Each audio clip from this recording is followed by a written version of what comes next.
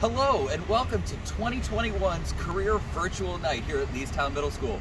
I'm Mr. Ross with my co-host, Mr. Penrose. and we're here to tell you about exciting career opportunities and specialized programs that you have here in Lexington. Mr. Penrose, did you grow up always wanting to be a teacher? No, I think when I was like little, and now this is back in like the 1800s, I think, I wanted to be a paleontologist. A paleontologist? Yeah. What does a paleontologist do? I wanted to find dinosaurs That's awesome, Yeah, man. right? You could like live in a van and go find dinosaur bones. right in a van. It would have been perfect. Would've what been did you want to be? Well, th- this is a little embarrassing, but when I grew up, I, I wanted to become like a six foot tall robot that could shoot laser beams Mm-hmm. Yeah, out right of my out eyes. of the eyes. Right, out of my yeah, eyes. right out of the But, eyes. but UK told me that wasn't a major that they offered. It was it was a real bummer. So I had to switch my career choices, and I That's a shame. I decided that I instead wanted to become a teacher. Oh, all right, excellent. Well, I believe today we're going to introduce you to some professionals. We're going to hear from some kids about what they want to be. We're going to hear from some adults around the community about what they do and how they got to where they are. So coming up next, you're going to see the hopes and the dreams of our current Chargers. Hello, I'm Antoine. I'm in the sixth grade at Leestown Middle School. I'm interested in being a pilot. One day I want to be a pilot. Um, I wanted to be a pilot when I went to aviation camp, and the next step for me is to go to flight academy. Hi, I'm Nicholas Wilson. I'm in the sixth grade at Leestown Middle School. Something I inspired to be when I grow up is an actor. One of the reasons I want to do this is because, well, it's something I truly enjoy. Some next steps for me are possibly taking an acting class, auditioning for the school play, and so many more. Hi, my name is Armani and I'm in the seventh grade. My future career is to be a trauma surgeon. The reason why I chose to be a trauma surgeon is because it gives you a plan and it give, and you get to do different types of surgeries every day. Some of the classes you'll take to in order to be a trauma surgeon is biology, health and chemistry, physics, and calculus. Hello, my name is Avery Johnson. I'm in the eighth grade at Leestown. My dream job is to be an athletic trainer because my mom is an athletic trainer. So I would like to help others, make sure they're okay, they're not injured. And I'm into a lot of sports like basketball, football, and track. And we have an athletic trainer that checks others.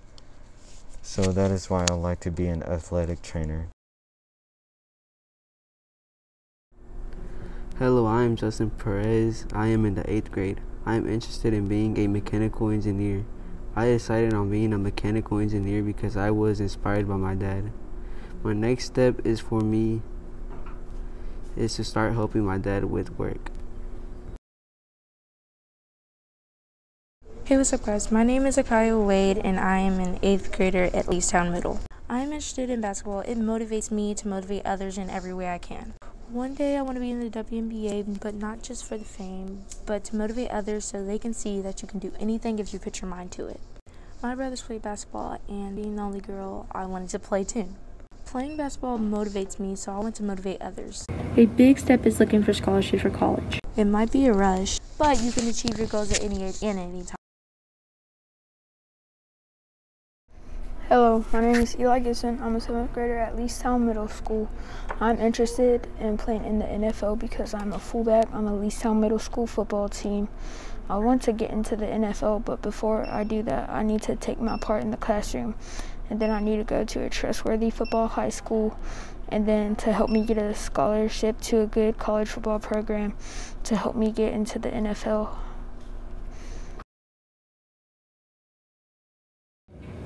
Hi, I'm Eve Barber. I'm in the seventh grade at Leestown Middle.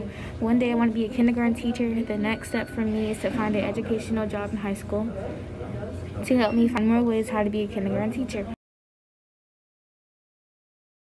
Hi, I'm Bradley. Today I'm going to be talking about what I want to be when I graduate high school and how much heat that go. When I graduate high school, I want to be a music producer. I want to be that because I love making music. I love making beats and stuff I like to do. And I'm gonna achieve that goal. I have to at least play one instrument, attend a good college, a university, and learn more about music and listening to music and learn how to make beats. Hello, I am Steven Sorzana. I am an eighth grader at Leestown Middle School. My dream job is is game development. My next step to get close to this goal is to go to the Eastside Technical Center and take the Game Development class. Hi, my name is Katie Rodriguez and I'm in 8th grade at Leestown. Um, my dream career is to be a fashion designer. I like this because I like to uh, go into the worldwide trend and help people to see what style they really want and to express themselves. Um, I would have to have four years of college uh, degree and have knowledge on clothing, accessories, and footwear. Also, I would have to take art theory and art history in, in high school. Hi, my name is Ava Rankin and I'm an eighth grader at Leestown Middle School. And one of my dream jobs is becoming a dental hygienist. Um, one thing I have in my future life is I would like to be at the biomedical program at Frederick Douglass High School. Um, I want to focus on taking biomedical classes and tech classes and see where that leads me on later on in my future career. Hi, my name is Mary Clark, and I'm the Assistant Director for WRFL 88.1 FM in the Office of Student Organizations and Activities at the University of Kentucky. My job falls within a couple of different career fields, the first being media, since it is a radio station, but the second is also higher education because a big part of my job is advising and educating college students on how to run the radio station themselves. Um, so this job definitely did require a master's degree when I was applying for it, but it was not specific in what type of master's degree I needed to have. Um, so the degrees that I did have that kind of led me to this job. Um, I had two bachelor's degrees, one in media arts and studies and one in art studio. Um, and then I went and worked at another radio station in town for a few years before going back for my master's. And I just finished up my master's in communication um, right before I got this job a few months ago. So, regarding what my day looks like, um, every day is a little bit different, which makes the job fun.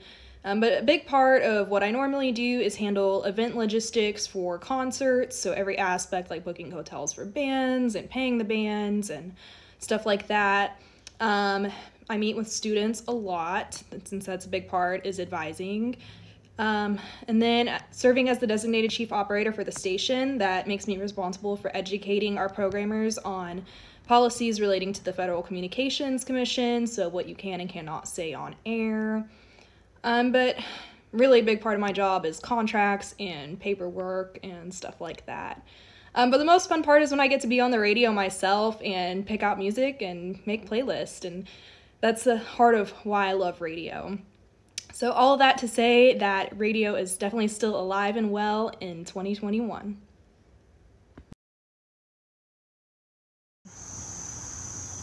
Hey everybody, my name is Michael Tyree and I'm a plumber for the University of Kentucky.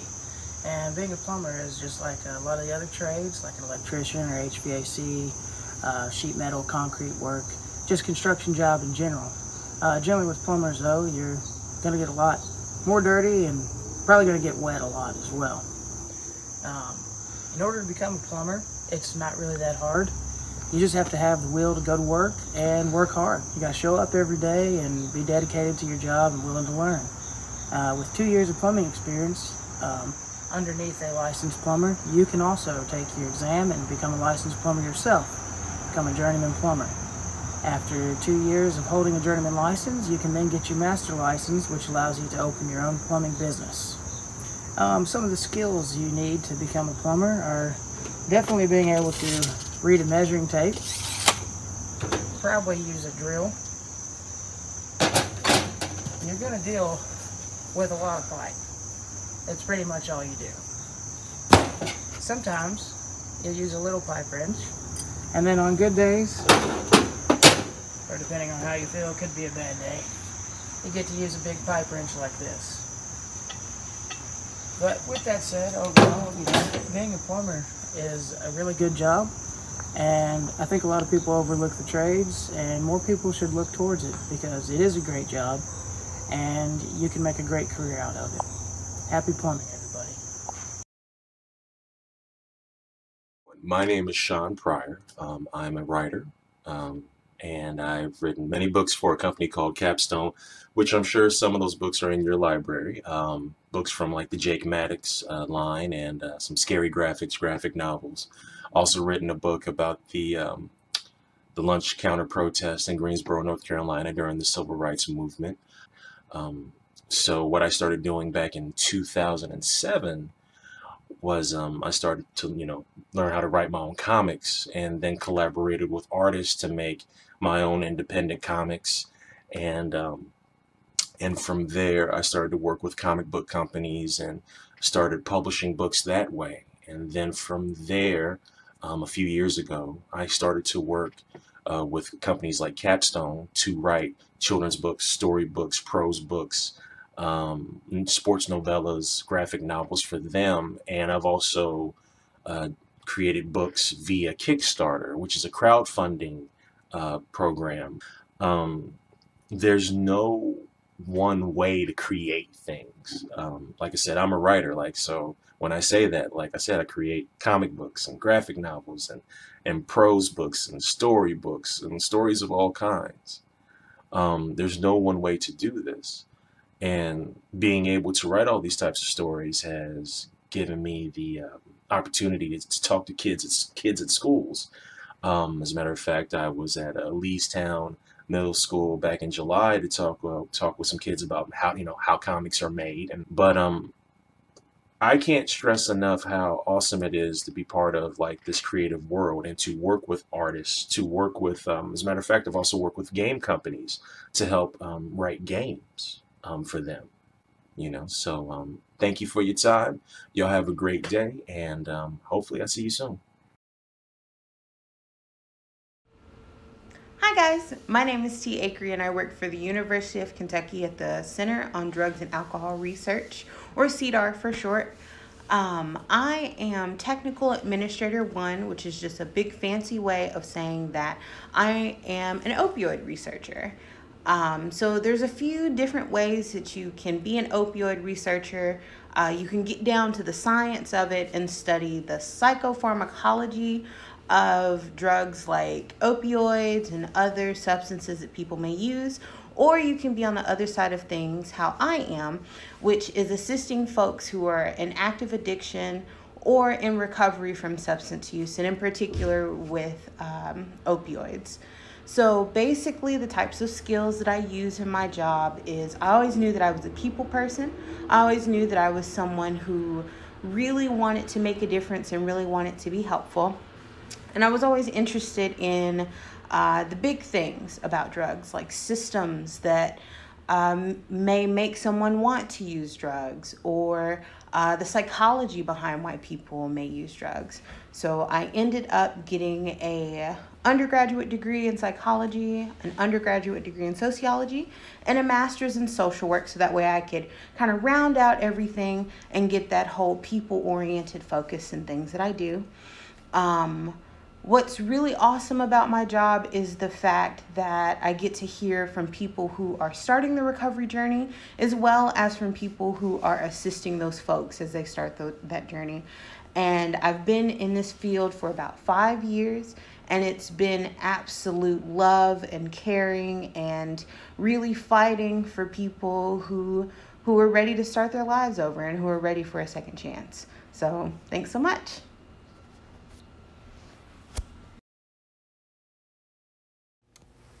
Hi, my name is Alex Reese. I'm a comic book illustrator and artist for the webcomic Robin and Cat, um, which has been running for almost eight years now. I also do a lot of other freelance work, lot of comic covers and illustrations um, and one-off stories through other publishers. But I also release my own uh, books through my own publisher, Pizza King Publishing. And uh, let me just tell you a little bit about the art career. There's um, no like formal way to get into it. It's it's a very passionate field. Um, you, yeah, there's no real way to say like how to get into it, other than to make, uh, create your work, and get it out into the eyes of the public, which is the the biggest challenge of the field. Um, yeah, it's not just drawing every day. You also have to send a lot of emails, read a lot of emails, um, talk to a lot of people that can get your work out into the public, but also creating your own opportunities when those people refuse or you get rejections. Uh, getting rejections is a very common thing in the comic world, uh, but that's when you create your own books and release them online. There's so many great ways, so many great opportunities to get your work out there uh, without a major publisher. But, uh, I'd like to thank you and uh, have a good day. Hello, my name is Sean Livingston, and I'm the Director of Research Services in the Special Collections Research Center at the University of Kentucky Libraries. I know that's a mouthful, but what that means is, is I'm a librarian, and so I help people find information. In my current job, I am learning also to be an archivist. And what that means is I help preserve the history of Kentucky, the history of University of Kentucky, and the history of a lot of different people we come into. And then in the second part of that, I also help people access that material that we've stored. So it's actually a pretty rewarding career field to be in if you're curious, um, you want to know about the world, or you just want to look at some really old stuff that's really cool and you want to preserve it forever. So to get here, I had to go to college. I had four years of an undergraduate. I went to Transylvania University here in Lexington. And then I also went to graduate school at the University of Kentucky to get my degree in library science. And all that did is prepare me to interact with all the different documents we have and also help people access all those different documents so they can complete their research on time. I have a list of questions here that they, they've allowed me to answer for you. And I think the one that's most is what skills do I use all the time? Um, I use my skills of critical thinking. I have to figure out what people really want when they ask a question. Sometimes the question they ask is not really what they want. I also have to use my reading skills a lot to ferret out information that may be here, maybe hidden in an entire book or an entire collection of people. And I also have to use my um, skills of just being persuasive and really interest people in that. I really hope this explains a lot about what I do.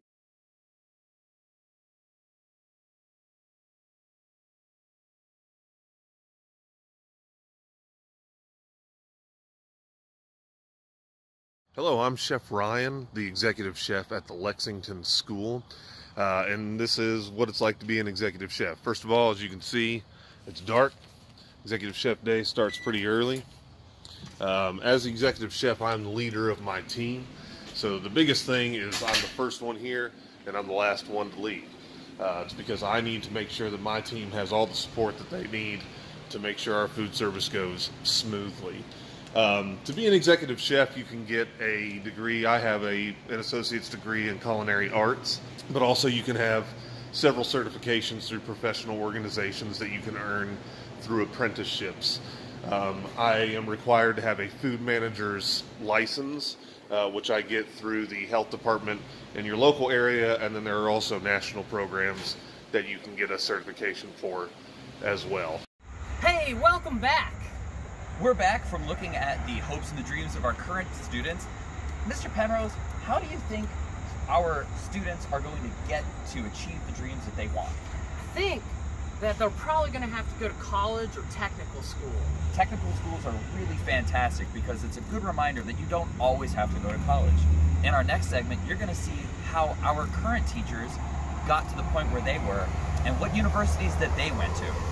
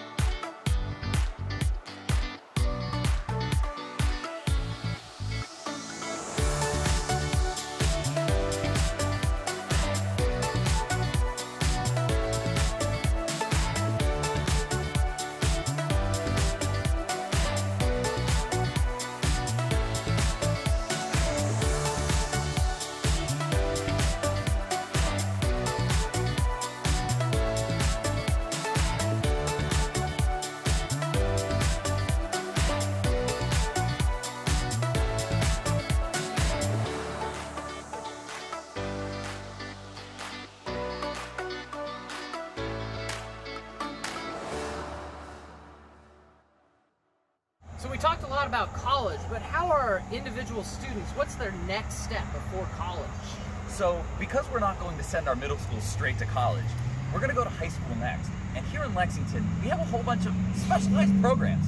Mr. Penrose, what is a specialized program? Fayette County has a lot to offer. We have like things like pre-engineering, MSTC, Locust Trace. We have so many specialized programs. These kind of just like guide you to where you think you might want to go for college. Can I apply?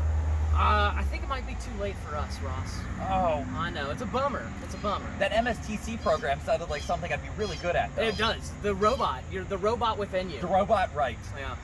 In our next little segment, we're going to learn about the specialized programs and the offerings that we have here in Lexington for your students coming up in the next year or maybe the next two years. Now that you're thinking about career pathways, you may be interested in looking into some of the high school programs Fayette County has to offer. If you're a current eighth grader, the deadline to apply for these programs is October 7th, which is coming up soon.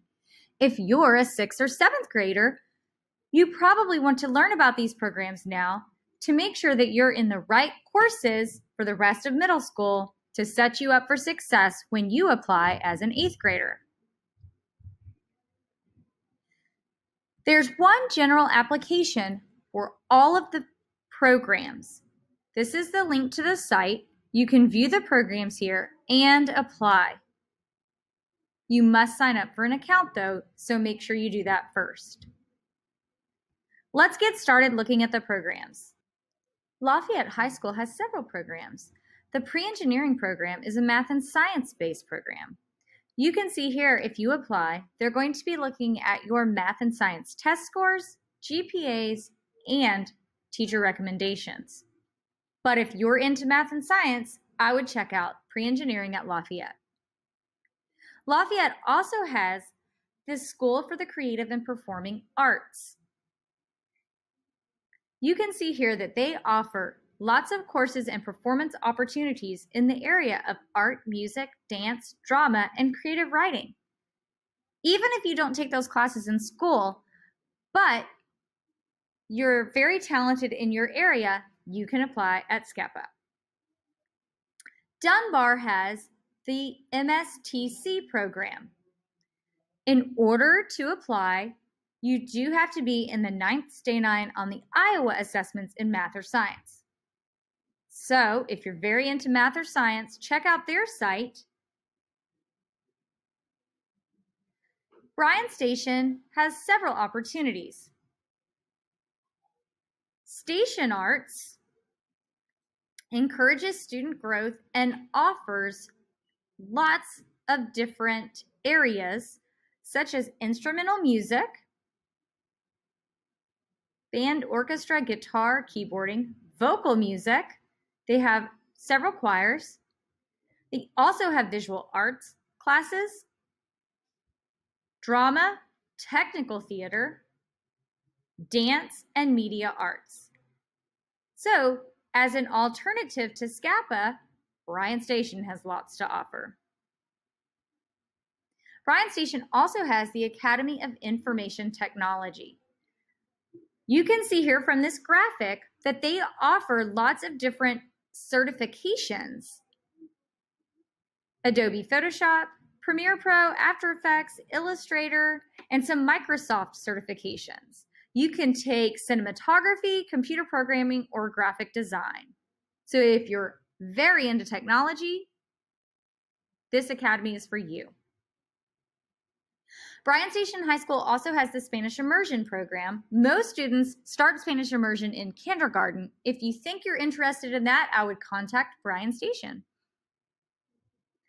They also have the Air Force Junior ROTC. This is a program that teaches the qualities of uh, citizenship through military values. But it does not mean that you have to enter the military after you've completed the program. Henry Clay High School has the Liberal Arts Academy. They have the capstone diploma. They also have the Army Junior ROTC. Again, ROTC is not a military recruitment program, but if you're interested in the Army, you can learn citizenship through the ROTC. Tates Creek High School has the International Baccalaureate program. This is very heavy on research and writing. If you are in the Tates Creek district, which means um, you would have gone to Southern or you would have gone to Tates Creek Middle School, you can go ahead and apply. If you're out of the district, you need to make sure that you go through the enrollment checklist and then you can go to this link and register to see if you can get a spot in the IB program. STEAM Academy, Science, Technology, Engineering, Arts, and Math. STEAM is located on Georgetown Road. They have a brand new, beautiful school, and they do lots of project based learning. So, if you are into that type of learning, STEAM could be for you.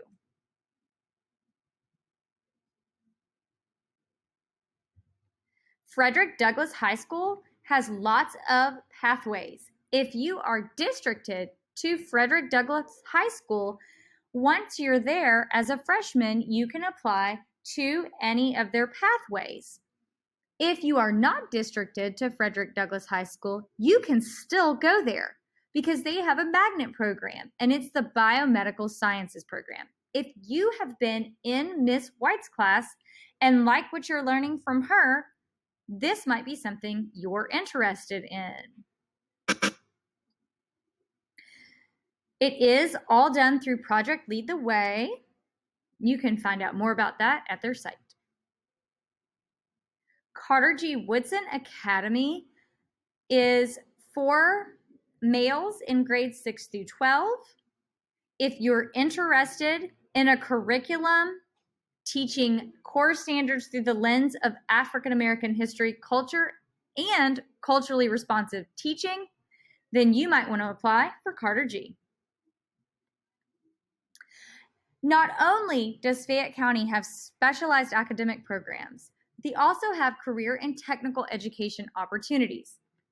These next few programs that I'm going to talk about actually do not use the application that I sh- um, showed you at the beginning. They have their own separate application processes. So make sure that you contact them or visit their site for details. The first one is Locust Trace AgriScience Center. And I believe you can start applying for this in October. If you want to know more about Locust Trace, we have an expert right here at Leestown, Miss Myers. Many eighth graders are taking a year long agri-science course to prepare them to go to Locust Trace. If you're in sixth or seventh grade, you might be interested in that, and you would want to talk to Miss Myers about taking her class as an eighth grader. We also have two technical schools in Fayette County they have one application site, Southside Technical Center and Eastside Technical Center. Southside has all of these different programs electrical technology, welding technology, engineering and electronics. They also have healthcare related um, fields, so dental hygiene, nursing, respiratory care, farm, pharmacy tech, surgical technology, lots of opportunities there for you as a student. Eastside Technical Center has a different set of programs automotive technology, collision repair, cinematography, law enforcement, lots of different options there. The best thing about Locust Trace, Southside, and Eastside is that you don't go there full day. So even if you apply or go to Bryan Station or Dunbar or Lafayette or Henry Clay, you can still be bussed over and go to the technical school to get some of those um, certifications. We also have the Learning Center in Fayette County, and there is a separate application. It provides a nurturing environment for at, at risk students, and it's based around career oriented exploration. So it's preparing you for life and gives you a chance to see what careers might be best for you. Fayette County also has the stables. The stables is located at the Kentucky Horse Park. It's housed at the Central Kentucky Riding for Hope. And if you want more information about the stables to see if it's right for you, you could contact their program director, Rachel Baker. Now you're probably wondering, what do I need to do now? I've learned all about uh, my dream career. I've learned about college opportunities, and now I've learned about high school opportunities. Well, you're going to want to go home, talk to your parents, and think about what is it best for you to apply. If you're an eighth grader this year, we here at Leestown, we recommend applying for several different programs, anything you're interested in. If you are an eighth grader this year and you need help with applying, you can talk to your counselor, Mr. Gillum, your administrator, Mr. Miller, some of your eighth grade teachers, or V. Pryor, who is the FCPS Special Programs Manager.